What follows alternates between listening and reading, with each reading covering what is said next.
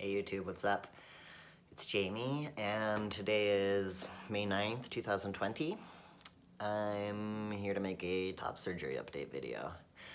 Uh, it's been five years since I had surgery, um, and I know I don't really post on YouTube anymore, but I thought I could pop in, show you what my body looks like. Um, yeah, there's a lot going on in the world right now. Uh, we're in the middle of global pandemic and um, I'm living in Denver. This is my house and kitchen and bedroom and living room and office. I work from home 40 hours a week right now. Um, there's a lot of weird shit going on in the world.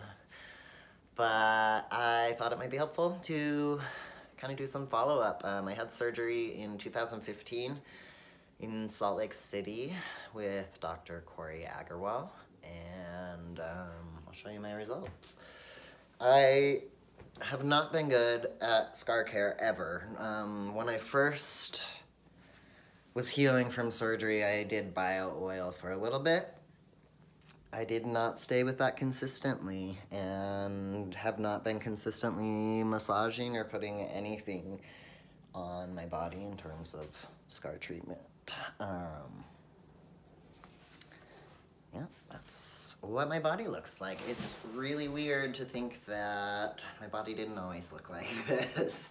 Um, it's, I don't know, I don't know how to explain what it's like to have, have lived with boobs for as long as I did and to just now feel so regular and okay and normal without them there.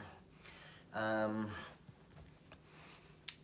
I don't know, I should probably talk about a lot of things that are transition related, but that's kind of scary and takes a lot of energy. Um, I'm still on T.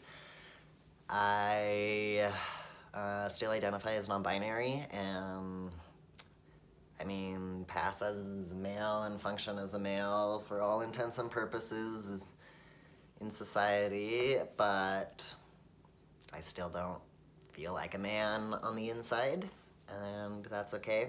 I'm definitely a lot mm, in a better spot now with that of the reality of knowing that I'm just perceived as male and that's okay, even though that's not my gender identity.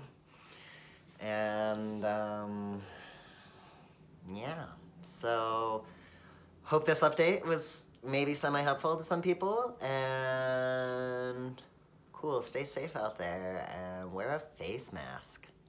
Okay, bye.